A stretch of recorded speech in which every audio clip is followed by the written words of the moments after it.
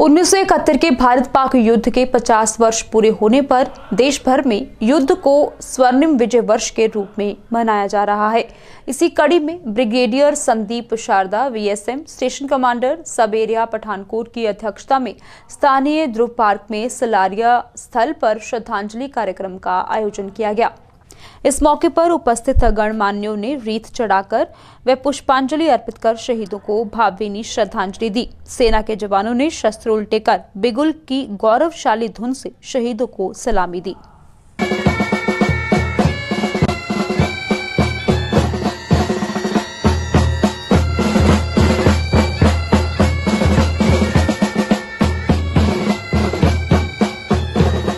सारा देश भारत पाक युद्ध की स्वर्णिम जीत जो है विजय दिवस में रूप में मना रहा है। उसी कड़ी में ट्वेंटी वन सावेरिया की तरफ़ से यहाँ ध्रुव पार्क में उन शहीदों की याद में एक कार्यक्रम आयोजित किया गया। उनको श्रद्धांजलि दी गई, रीत चढ़ाई गई। और उन्नीस सौ इकहत्तर का भारत पाक युद्ध भारतीय सेना के अद्भुत शौर्य को दर्शाता है। भारतीय सेना ने पाकिस्तान के युद्ध में हर क्षेत्र में करारी शिकस्त दी। और पाकिस्तानी जनरल ए ए, ए के न्याजी ने अपने तिरानवे हज़ार सैनिकों के साथ सरेंडर किया और एक नए देश का निर्माण बांग्लादेश का हुआ जो एक भारतीय सेना की बहुत बड़ी उपलब्धि रही है। सो मैं आज उन सभी शहीदों को नमन करता हूँ जिन शहीदों ने उस युद्ध में अपना बलिदान दे दिया। उन वेटरन्स को उन पूर्व सैनिकों को नमन करता हूँ जिन्होंने उस युद्ध को लड़ा। साथ ही मैं सरकार से अपील करता हूँ कि उस युद्ध में हमारे चुरंजा युद्धबंदी आज भी पाकिस्तानी जेलों में बंद हैं। सरकार को एक प्रयास करना चाहिए कि वो सैनिकों की रिहाई के लिए अपने एक प्रयास करें। और मैं समझूँगा कि यही हमारी इकहत्तर की जंग के शहीदों को सच्ची श्रद्धांजलि होगी। एक बार फिर मैं समूह देशवासियों को इस विजय दिवस की हार्दिक शुभकामनाएँ देता हूँ। धन्यवाद, जय हिंद, जय भारत। इकहत्तर की जंग का जो एक जीत का जश्न है, विजय दिवस के रूप में आज सारा देश मना रहा है, भारतीय सेना मना रही है। और आपने तो उस युद्ध को लड़ा है। और उस युद्ध में आपने वीर चक्र प्राप्त किया है। उसी तरह आप अपने कर्नल तीर सिंह वीर चक्र के नाम से जानते हैं। तो आज आपकी यादें ताज़ा होगी होंगी। कैसे देखते हैं आज के दिन पे? कि ऐसे है कि इकहत्तर का युद्ध खास करके मेरे लिए तो बहुत ही इम्पोर्टेंट ओब्लिक एक मार्गदर्शन के तौर पर रहा हुआ है, क्योंकि मेरी उस समय ढाई साल की टोटल सर्विस थी और हम लोग जो है, खूब जोश में थे और जैसे ही हमें मौका मिला इस युद्ध में हिस्सा लेने के लिए तो हमने बढ़ चढ़ करके हिस्सा लिया और जैसे जैसे हमारा प्लान था, उसके मुताबिक हम आगे बढ़ते चले और सक्सेस जो है हासिल करते गए।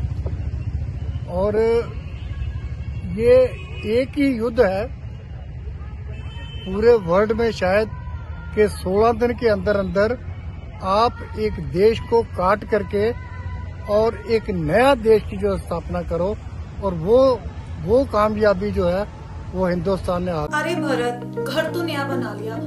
लेकिन कुछ समझ नहीं आ रहा इंटीरियर और फर्नीचर कहाँ से ले। अरे टेंशन किस बात की ले रही हो? एपी कॉलेज के पास खुल तो गया है सिया इंटीरियो चल वहाँ चलते हैं।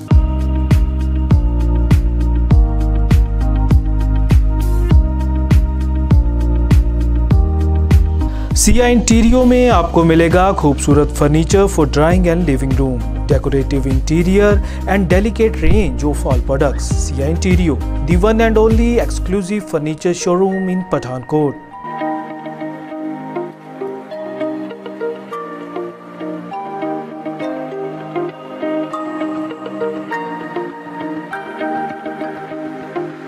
Bharat तुमने तो सच में सही कहा था। सिया इंटीरियो करे सपने साकार।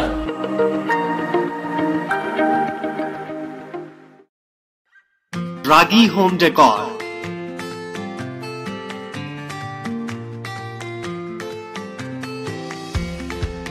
Give your home, offices, interior and exterior walls, ceiling, furniture, and door panel an elegant look.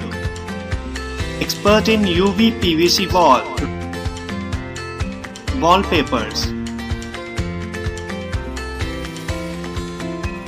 partition जाली वुड फ्लोरिंग